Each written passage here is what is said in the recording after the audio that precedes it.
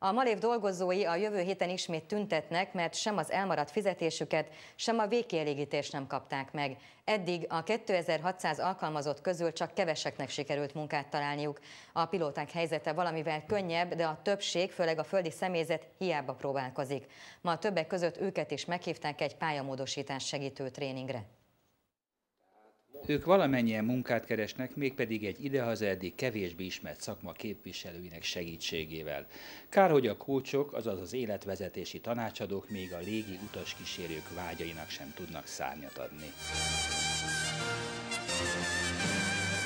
Én is folyamatosan önéletrajzot küldözgetek, de nagyon-nagyon kevés sikerrel. Annak ellenére, hogy az embernek több végzettsége, felsőfokú végzettsége van, nagyon nehéz elhelyezkedni, aki ezen a területen dolgozott, egy teljesen más tapasztalattal rendelkezik, és most ez megnehezíti az álláskeresést. Mi légutas kísérők vagyunk, de 2600 emberről beszélünk, rengeteg földi kollégánk is van, akit ugyanez a probléma érint.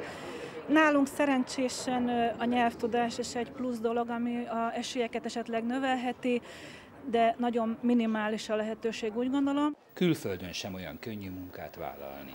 Egy-két kolléganő vagy kollega már elhelyezkedett külföldi légitársaságoknál. Én személy szerint ezt nem próbáltam meg, mert két gyereket nem szeretnék itt hagyni, és nem szeretnék távol dolgozni a családtól. Kimondva, kimondatlanul egyébként 35 fölött még a fapados légitársaságoknál sem érdemes próbálkozni. Egy másik malévre pedig korai várni. Az Egyesület az elmúlt hónapban megpróbálta körbejárni azokat a reális lehetőségeket, hogy hogyan lehet egy nemzeti légitársaságot létrehozni, mi az optimális üzemméret, milyen szervezeti formában lehet ezt megtenni. Nagyon sokat dolgoztunk ezen. Most azon dolgozunk, hogy azokat a piaci szereplőket, vagy azokat a szakértőket, szakembereket próbáljuk meg egy csokorba gyűjteni, akik ezért tenni tudnak. És ha ez sikerül, akkor már valóban csak egyetlen dolog hiányzik.